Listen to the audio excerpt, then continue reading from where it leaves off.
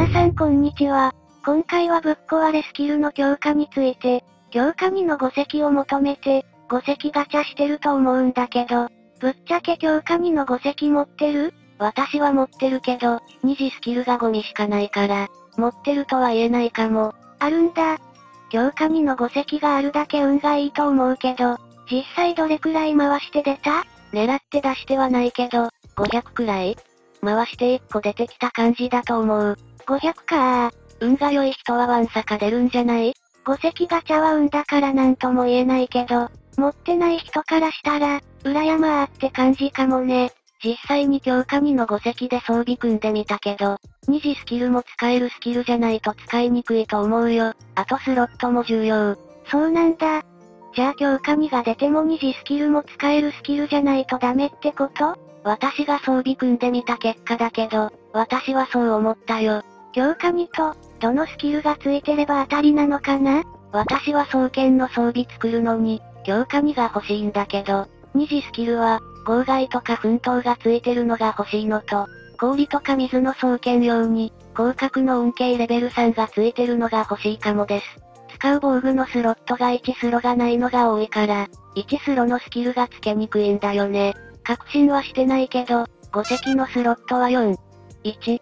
1が私は良い感じかもしれない。そうなんだ。武器の属性によって5席変えるのすごいよ。防具の連星で、神連星が来ればいいんだけど、いい連星も来ないし、今の段階では2種類の強化2の5席が欲しい。結論。強化2の5席派に自スキルも使えないと装備組みにくいって話で OK?OK。実際に組んでみればわかると思うけど、良い感じのスキル漏れないから、今でも強化2の5席使ってない装備で遊んでる。強化2の5席が全然出ないのに、二次スキルも良いのが出ないとダメってなると、5席のゴールはめちゃくちゃ遠いね。そうだね。あと何回回せばいいのかわからない。でも、強化2のいい感じの5席が出るまでは回し続けるんでしょ？私は回すよ。ゴール装備ができるまではやめないつもり。もっと3ブレイクやる時間が取れれば良いんだけど、そうすればもっと早く5席ゲットできる。それはそうだね。ガチャ要素があるのはライトユーザーには厳しいね。素材集めるのもそうだけど、装備作るのも連成で時間がかかるよ。確かに、ガチャ要素が多すぎて仮してるよりも、連成してる時間の方が長いかも。私は地道に強化2の5席を狙っていくよ。ということで今回は、ぶっ壊れスキルの強化についてでしたが、皆さんどうだったでしょうか？強化2の5席が欲しいユーザーはたくさんいると思います。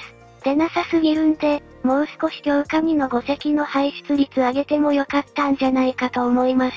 皆さんは強化2の5席を持ってますか？ぜひコメントで教えてください。これからも動画をアップしていくのでもしよければ見てください。動画を見逃さないためにぜひチャンネル登録お願いします。最後までご視聴ありがとうございました。